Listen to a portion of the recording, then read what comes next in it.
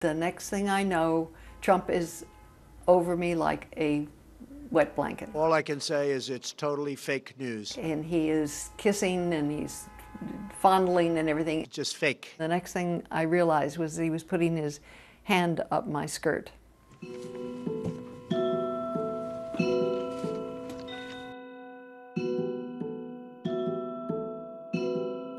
This isn't a partisan issue.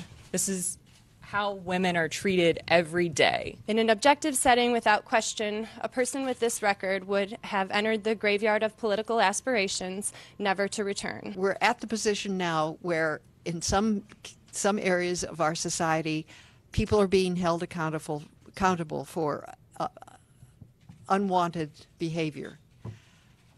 But we are not holding our president accountable for what he is and who he is.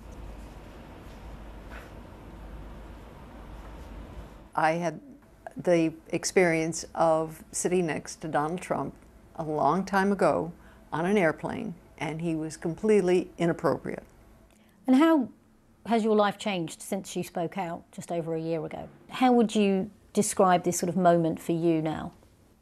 Well, it's, it has been an eye opener of a year, and it has been sort of stressful in that I've heard a lot of stories.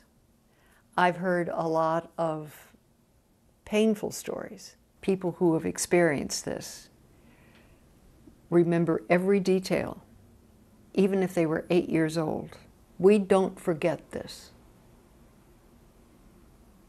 So I didn't forget that episode.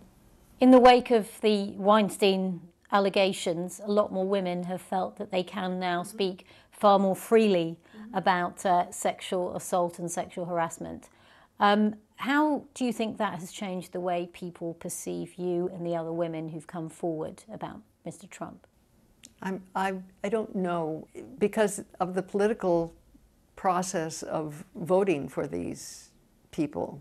Uh, it's not like we can, they can be fired like the, the media people and the business people over on the, on the other side. There seems to be culturally more acceptance in believing the stories, believing the, the accusers are not making it up. I will be resigning as a member of the United States Senate.